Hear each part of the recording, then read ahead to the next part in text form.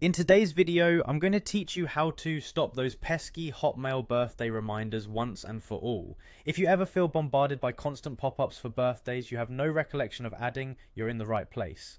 We're going to walk through the steps to disable these notifications in just a few minutes. Let's get started.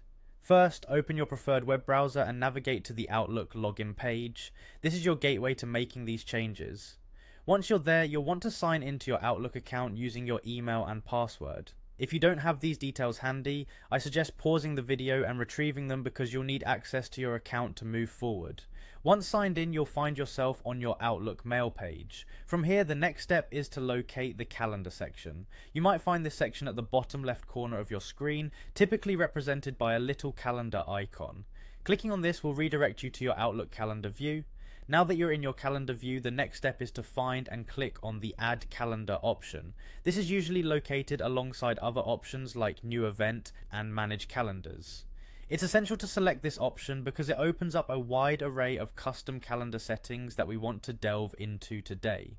Once you click Add Calendar, a sidebar should appear listing different types of calendars you can add or modify. The one we are interested in is simply labelled Birthdays. This is the secret culprit behind those frequent reminders and it's time to address it. Upon selecting the birthdays option you will see your birthday calendar settings displayed. Here's where you can make all the difference. Look for an option that says turn on the birthday calendar. This is the feature responsible for triggering those birthday reminders. However, the key action you need to take is to disable this option. This can often be done by toggling a switch from on to, to off, instantly stopping those notifications. Before signing off, double check to ensure the setting has been correctly adjusted. Sometimes toggles can be a bit finicky, and refreshing the page to verify your setting change can be a good practice.